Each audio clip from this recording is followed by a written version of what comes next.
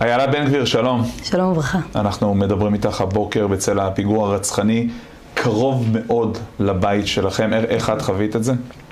אה, מבחינתנו אמרו לנו שזה ירי על הבית שלנו. כן, היה, הייתה הערכה כזאת הייתה בהתחלה? הייתה הערכה כזאת בהתחלה. כוחות ביטחון הגיעו, אמרו לנו להיכנס לבית, אה, אה, לא לצאת ממנו, אסור לנו יציאה מהבית, היה הרבה מאוד לחץ. שמענו את היריות מאוד מאוד קרוב. היה, היינו בלחץ, זה היה, זה היה מבהיל במיוחד. הכנסתי את כל הילדים לחדר שינה שלנו, יש הרגשה של, של קצת יותר ביטחון, לשאול אותם איך הם מרגישים, הכל בסדר, עד שהאירוע יסתיים. וההערכה הזאת היא בהמשך לאיומים, בהמשך להעלאת הכוננות, ההבטחה. ספרי קצת איך זה עובר עלייך. זהו, זה, זה, בגלל זה זה היה כל כך ברור גם לכוחות הביטחון, בהתחלה שהירי הוא לכיווננו, כי כבר כמה חודשים טובים יש איומים כל הזמן על איתמר, איומים של ערבים ממזרח ירושלים, איומים של החמאס, שהם קוראים לרצוח אותו והם מאיימים עליו שדמו בראשו, ומפיצים כל מיני גרפיקות של סכינים עם דם וראש כרות ודברים כאלה. גם אנחנו מקבלים איומים כאלה, עם סכינים מלאות בדם.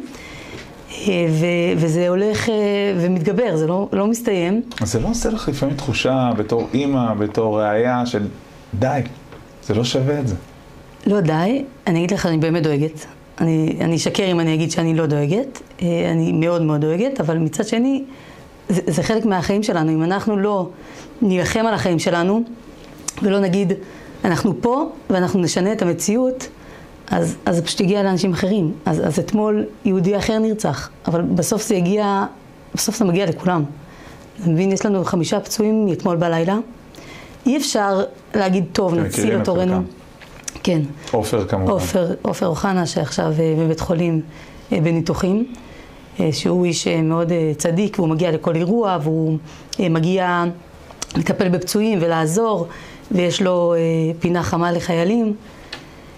כן, ויש לנו את, ה, את האדם שנרצח וזה, וזה בסוף מגיע, וזה מגיע קרוב ו, וצריך לעשות משהו כדי לעצור את זה. צריך לקום ולהגיד אנחנו נעצור, אנחנו נעשה כל מה שאנחנו יכולים כדי שיהודים יוכלו להסתובב בארץ בביטחון, בשקט. שמתי לב בכניסה לאולפן שאת מסתובבת עם נשק, עם אקדח. נכון, נכון.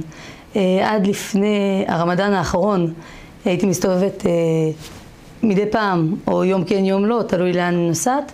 מאז הרמדאן האחרון, כשהאיומים הגיעו למאוד מאוד גבוהים, אני מסתובבת קבוע עם נשק ועם עוד מחסנית, ממש בכל מקום.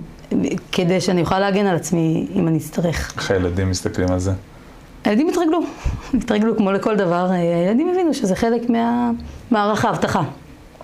טוב, בואי נדבר על החוויה שלכם עכשיו כמשפחה שלך בזירה הפוליטית המטורללת, יש שיגידו. קודם כל, האמנת שתגיעו, בינתיים זה בסקרים, למספרים כאלה מבחינת הרשימה, כמובן האיחוד עם בצלאל סמוטריץ'. אני רואה את האהבה המטורפת שיש לאיתמר ברחוב. ממש כל שני צעדים סלפי, כל צעד וחצי מבקשים חיבוק או ללחוץ יד, וזה אמנם, זה, זה מפליא שזה היה אולי כל כך מהר באופן יחסי, אבל, אבל זה ממש ברור לי שזה אמיתי. מרגישים את זה בשטח, שאנשים באמת רוצים את השינוי הזה, רוצים את האהבה הזאת.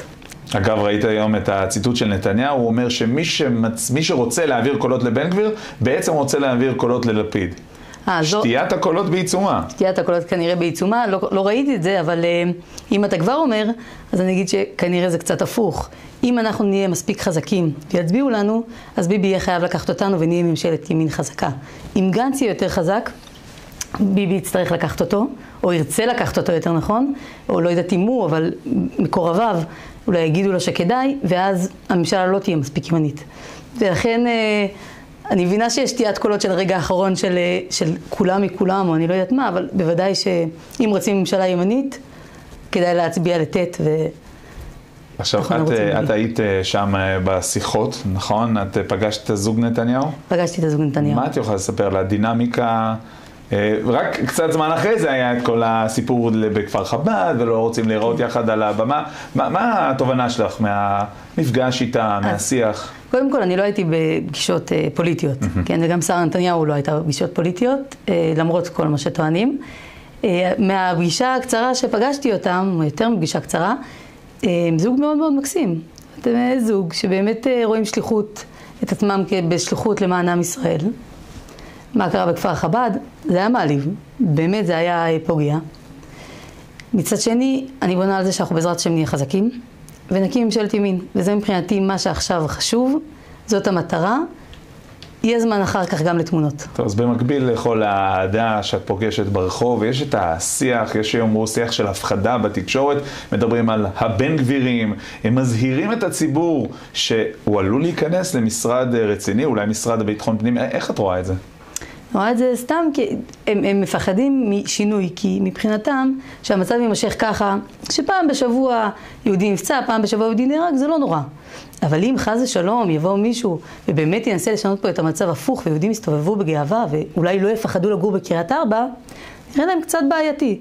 אז אני מרגיעה אותם שאנחנו נדאג בעזרת השם לשמור גם על הילדים שלהם ולאיתמר אכפת גם מהילדים של, של צפון תל אביב והוא באמת אוהב גם אותם, אז הם יכולים אה, לנשום, בלי קונספירציות. איילה בן גביר, את גם אה, אם וראיה, אבל את גם פעילה בשטח, אנחנו פוגשים אותך כבר שנים בשטח, גם בנושא של הר הבית ובכלל בנושא של ארץ ישראל. איך את רואה את מה שמרזל ובן ארי ראו כהתמתנות של בעלך, איתמר בן גביר? איתמר באמת הוא התמתן, אבל אה, בעיניי בצורה נכונה. זאת אומרת, הוא עשה, הוא, הוא באמת בן 46, הוא עבר כמה דברים בחיים. הוא התמתן בצורה יפה. על ברוך ומיכאל אני לא אדבר, איתמר מכבד אותם, ואני יודעת ש... שזה, שהוא לא רוצה, לא רוצים. אנחנו מכבדים אותם, אנחנו מעריכים אותם, גדלנו אצלם, כבודם במקום המונח, אז אפשר... בכל זאת, מה זה אומר להתמתן? להתמתן זה אומר לא לראות את כל הערבים. בסדר, אם אנחנו אומרים, אם איתמר אומר שצריך אה, לגרש מפה את, את מי שמחבל במדינה, זה לא כל הערבים, זה לא מיעוטים אחרים, זה לא... הוא מוכן לקבל באמת באמת בשמחה כל מי שרוצה לחיות פה בטוב, בשלום. מי שמוכן להכיר שיהודים חיים פה, והם חיים פה בגאווה. והם לא, לא מנסים לזרוק בקבוקי תבערה ואבנים על אה, חיילים ולא מנסים לפגוע בחיים שלנו. אין בעיה שהם יוכלו לגור פה. זה בעניין הערבים, אבל יש גם את אה, מה שמרב מיכאלי הזכירה על הבמה בכיכר ציון אתמול, מה שהיה מבחינת איתמר בפעילות שלו עם הפוסטרים של אה, רבין במדי אס אס, אז לפני רצח רבין. Mm-hmm. מרב מיכאלי, כל מה שהיא אומרת, נראה לי צריך לקחת בחזקת אה, חוסר אמת מוחלט. אני לא יודעת על מה היא דיברה, כי באמת שאני לא מקשיבה לה, אז אני לא יודעת ספציפית להגיד לך, אבל באופן כללי, בן אדם שכל מה שהוא עושה זה להחריב כל דבר שקשור ליהדות, החל מהשפה. Mm-hmm. בחייך, מה את הורסת לנו את השפה? את, את, את, רוצה, דברי אנגלית, אל תהרסי לנו את העברית, היא כל כך יפה. וכלה בכל דבר שמריח קצת יהדות, קחו אותה בערבון מוגבל. אוקיי, okay, ובכל זאת, דיברת על ההתמתנות בעניין הערבי, יש uh, מחשבות על מה שהיה אז, לפני רצח רבין? זה כדאי שתשאל את איתמר, אני מניחה שכן. אני הייתי בכיתה אה, ב', אז אה, אני, מה, מהרצח אני לא זוכרת הרבה. אה, אתה שואל אם איתמר היה מצטלם היום עם, עם הסמל? אני מניחה שלא. עם הסמל של הרכב. כן, אני, אני מניחה שלא, אבל זה באמת, אתה צריך לשאול אותו. אוקיי, איילה בן גביר, את אה, חוזרת מן הסתם גם לשטח וגם לבית כמובן. תודה רבה לך על הדברים. תודה רבה.